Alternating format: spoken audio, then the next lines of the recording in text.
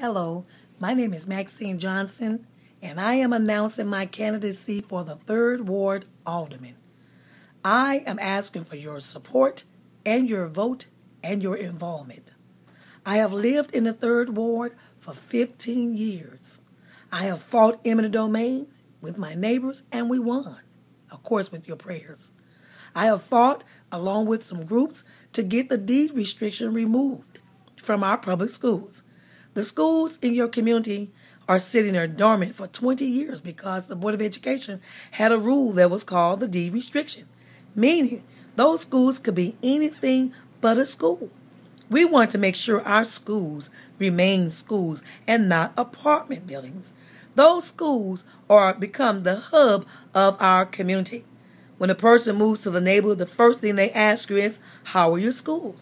Well, we're fighting hard, desperately, to hold on to our school buildings and our schools in our community.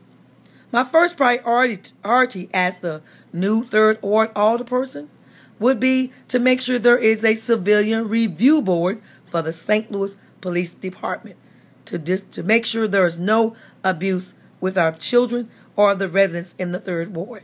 Secondly, I am currently and have been in a lawsuit with the city of St. Louis concerning the illegal passage and increase of our trash bill and the attachment to our water bills as well.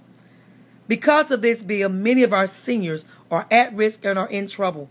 Many of them have had their water bills disconnected because they could not pay the extra cost of the trash bill and because it's illegally attached to the water bill. I'd like you to get on board and let's make sure that ordinance is being introduced properly as a, as a proposition and put on the ballot as a vote.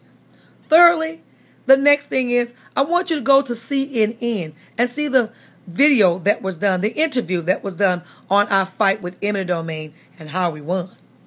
Also, um, I've also organized a national parent union to give the parents a voice in our community and take them to Jefferson City and to the Board of Aldermen so they can make sure their voices are heard and make sure the dollars and finances that are set aside by President Obama actually make it to the people in the third ward. Also, I would like to introduce something called the COPS program. That is the Community Opportunity Plan. Many neighborhoods are strong because they have something like the COPS program in, in place. That means that when a developer wants to come to our community, they must sit down with the residents, make sure we enter a partnership, make sure the dollars are split uh, equally so the finances can come and stay in our community. They will also offer support to help those that want to open up a business but do not know the procedures. And secondly, to make sure those jobs that come to our ward are employed by people that live in the ward, not those that live 70 and 100 miles away. We want to make sure our men, women, and children are employed. We want to make sure there are strong recreation centers that our children can go. I go and just relax and have fun in. I tell you, if you go on the internet and just see what I've been involved with, the, the, the passions of my heart, I'm just asking you, let my work speak for itself. I cannot do this alone. We need to do it together. Call me at 314 532 7063 or our organizer at 314 447 1977. There's much to be done.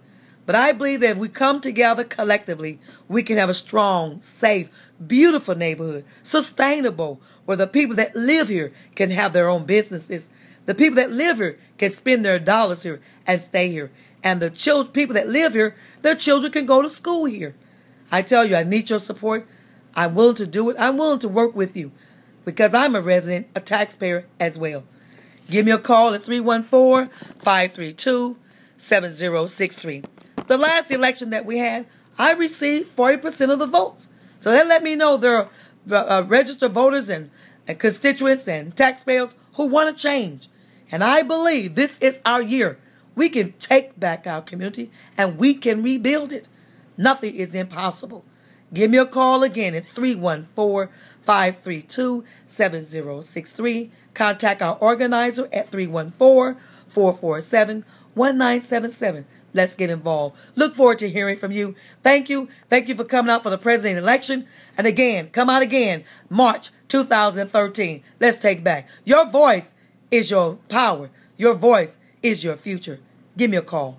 Let's get involved. Thank you. Have a good day.